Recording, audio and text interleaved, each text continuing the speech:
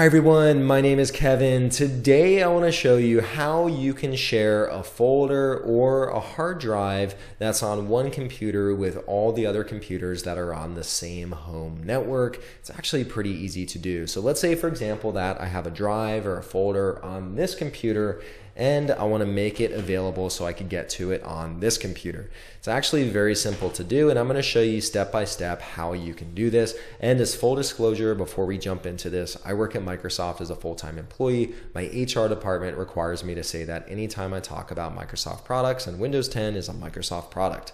All right, well let's jump into it. Here I am on my desktop and I want to make some files available on my laptop. I use this hard drive here, my G drive. It's a two terabyte hard drive connected to my desktop and I want to make these files available on my laptop. Now, let's say these thumbnail images, I'll click into this. These are all my thumbnail images for YouTube.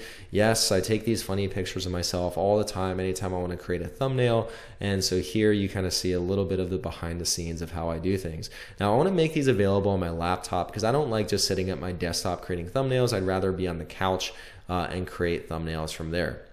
Um, so what I'm going to do is I want to make this entire drive available so I could get to it on my laptop.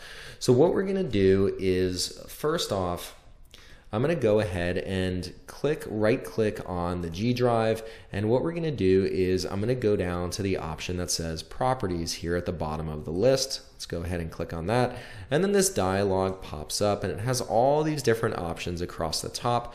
What we're what we're interested in doing is I want to share this with my laptop. So we're going to click on the one that says sharing. Within sharing, it says it's not currently shared, but there's an option here for advanced sharing. So I'm going to go ahead and click on that. And within here, I want to click on um, share this folder. And here the share name is just G because it's my G drive. I could also click into permissions and here I'm allowing anyone to access it and I could give full control where people can um, add new items, they could delete existing items, they could rename things. Uh, you could also uh, simply set someone to change, uh, but I'm just going to set it to read so they could read the contents here. So I'm going to go ahead and click on OK, and then I'm going to go ahead and click on Apply, OK, and then I'm going to close this. So right now I'm sharing my two terabyte hard drive.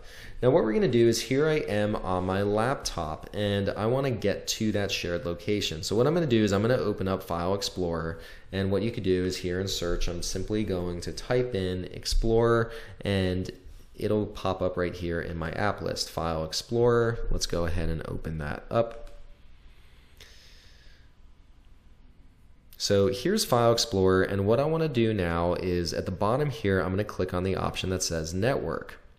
And within network, what you'll see happen is it now shows all the computers that are connected to my home network. I have two machines. I have my laptop and then I also have my desktop.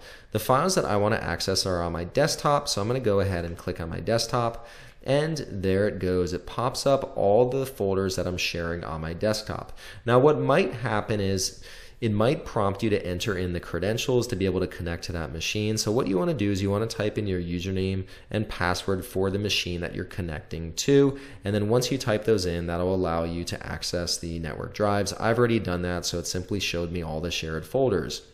Within here, here's the G drive that I just added, so I'm going to double click on that. And now I see all the folders that I have on the other machine, and I'm going to go ahead and click on thumbnail images. And then here too, I now have access to all of my thumbnail images on my laptop. And so just like that, I can very easily and quickly get access to all the files from a different computer that's also on my home network. It's pretty simple to do.